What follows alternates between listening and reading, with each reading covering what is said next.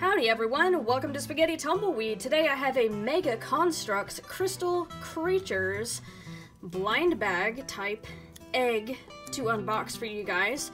Now this has slime inside and a buildable critter.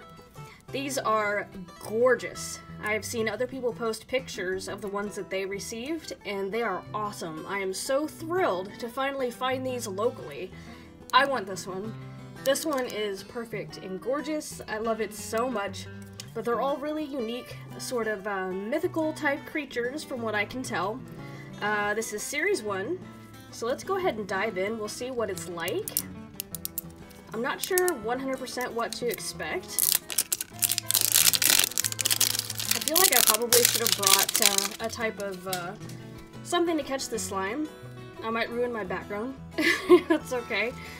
There we go. Really cool container.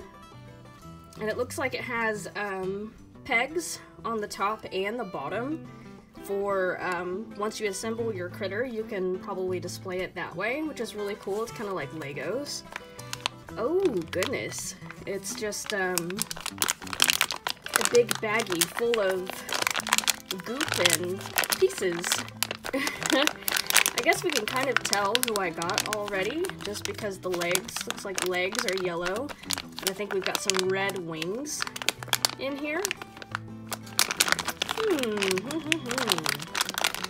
we have a checklist right here, slash instructional guide.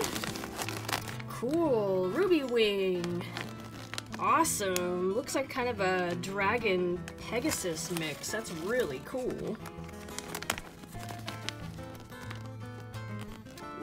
Assembly required for sure. and nothing much on the back there. So let's go ahead and get into the slime. I'll have to assemble it off camera, but um, we can at least see what it looks like. I guess I can just trim this off up here. Gross. I am not the biggest fan of slime. But, um, oh my goodness. it is like, um, really thick snot. I'm not gonna lie, that's really gross. I don't mind playing in it if, uh, I know what to expect. So I kind of knew what was coming. But you never really can imagine what something's gonna feel like until you actually get your hands on it, so... um, gonna have to excavate some of these pieces out of here. There's even really tiny pieces like that. But it is pretty slime. It's really shiny, shimmery.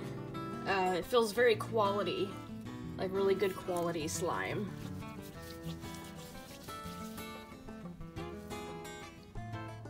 Nice. Alright, I'm just gonna set that in there as we continue through. Really messy.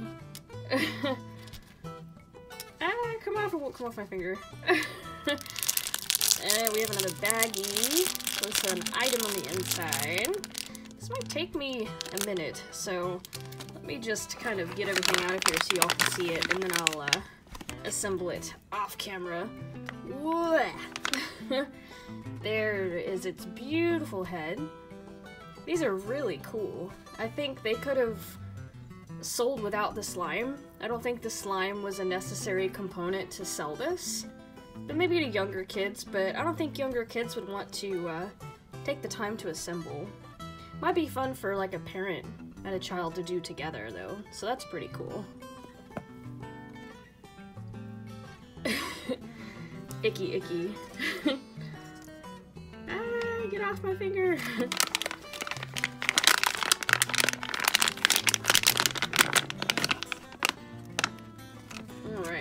that's all of it. I kind of grabbed one giant goopy puddle of it all at once. There's one of the wings. Really pretty. This is so cool. It feels like really well-made plastic. Like this is going to be a really cool figure that I think will look really smart on a shelf. Assuming I can get all the slime off of it. some little hooves here at the bottom. I'm not sure what that is, maybe a belly. Like the underside of the creature.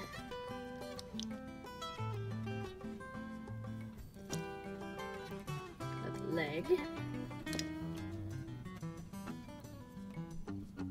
Oh. Display peg type stand, probably. Really scared I'm going to lose some of these pieces.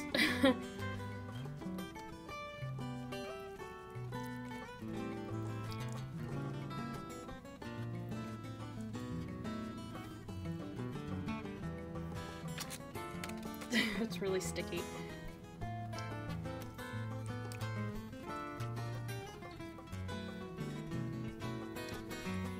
And I am gonna have to go back through and do some detail work and get the rest of the slime off some of these pieces, because some of it didn't come off all the way.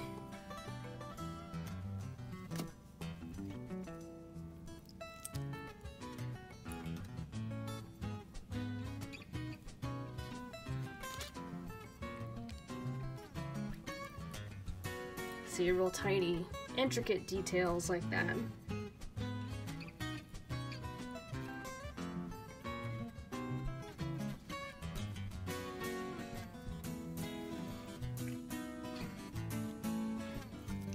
Just about got it all, I think.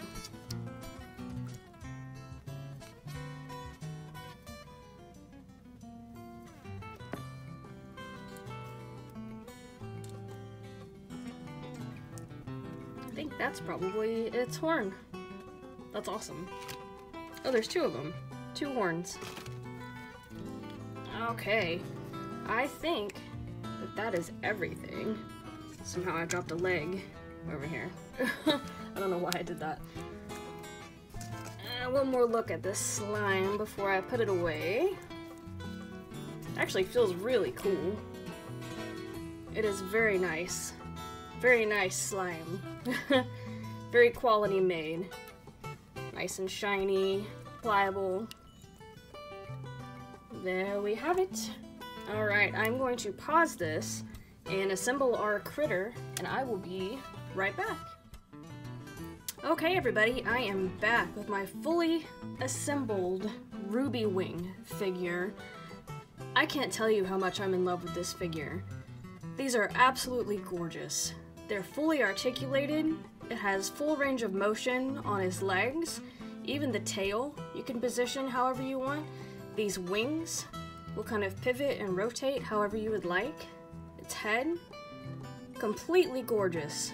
I love this so much, but I cannot tell you how much the slime takes away from this figure.